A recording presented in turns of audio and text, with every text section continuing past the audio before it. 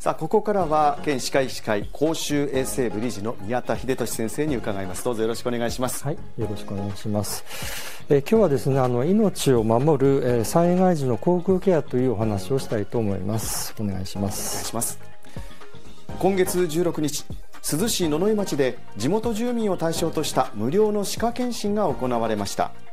被災者の歯の健康を守ろうとこの日は県内各地から歯科医師やスタッフなど35人が集まり検診やフッ素の塗布を無料で行いました。宮田さんも当日は現地にいらっしゃったそうですね。はい、えー、私も現地行きまして、なんとですね1日に150人とですね、えー、大変多くの方が検診を受けていただきまして、えー、珠洲市ではですね実はあの地震の影響で、えー、5件ある歯科医院のうち、えー、4件がまだ休診中なんですね、えー、こういった形で、えー、皆様方の歯の健康を守るお手伝いができてよかったかなと思っております。さて今日は災害時の航空ケアというお話なんですけどもこれどうして航空ケアが命を守ることにつながっていくんでしょうか、はい。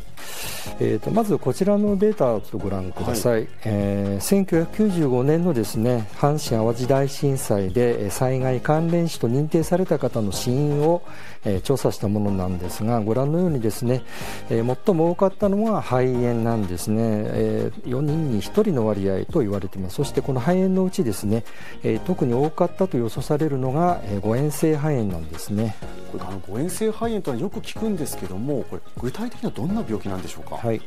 えーまあ、高齢の方ですね、えー、飲み込む力が落ちている方そういった方がですね、えー、間違ってですね食べ物が口から気管の中に入ってしまうことがあるんですね。これを誤嚥と言います。えー、普段から口の中にはですね細菌がたくさんありましてその細菌が、えー、食べ物や唾液と一緒にですね、えー、誤嚥されて気管から肺に入ることで、えー、炎症を起こしてしまうことを誤嚥性肺炎と言います。ではこの口の中の細菌ですけどどれぐらい増殖するものなんでしょうか、はい、えー、実は歯を磨いた状態でもですねお口の中には、えー、細菌が約1000億個以上言われていると言われているんですね。そして歯を磨かずにですね1日放置すると、えー、なんと6倍の6000億個に増えてしまうというふうに言われています。これはもう予想以上で大変なことですね。はい本当大変なことなんですね、うん、さらにですねあのこういったですね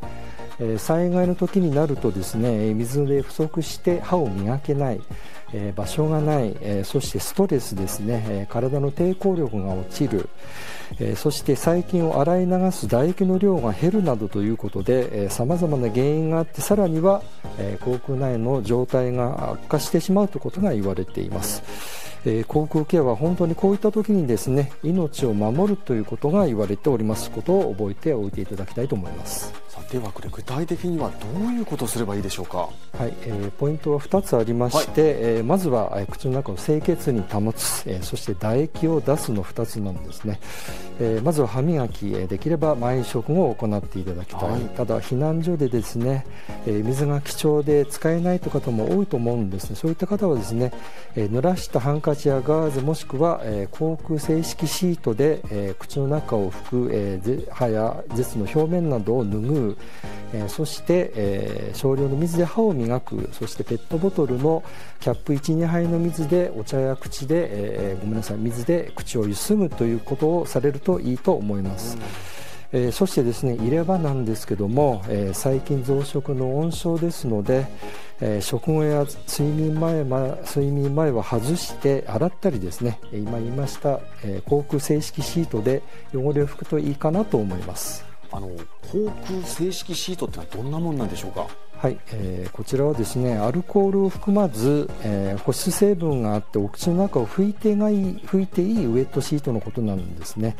えー、お店では口腔ケアシートとして、えー、売られていると思います、えー、私たちが1月に被災地を巡回した際にはですね、えー、被災以来3週間義手を洗っていないという高齢の方や、えー、歯磨きした後の水を吐き出す場所がないからということで飲み込んでいるという若い女性もいらっしゃったんです。ね、えー、一番重宝されたのがこの航空正式シートなんです、えー、今後各自治体にもですね、えー、ぜひ配備していただきたいと思っております。さあそして先ほどもありました唾液ですがこれ唾液を出すマッサージがあるそうですね。はいえー、口の中にはですね自家腺と顎下腺舌下腺この三大唾液腺がありましてこれらをマッサージすることで唾液が分泌します、えー、日本歯科医師会のホームページにですね具体的なやり方がアップされていますので、えー、災害時の、えー、口腔の健康についてつい後回しになってしまうんですけども、えー、そういう時にこそ、えー、口腔ケアを欠かさずですね、え、健康に過ごしていただきたいなと思っております。ぜひご参考ください、ここまで宮田さんでした。ありがとうございました、はい、ありがとうございました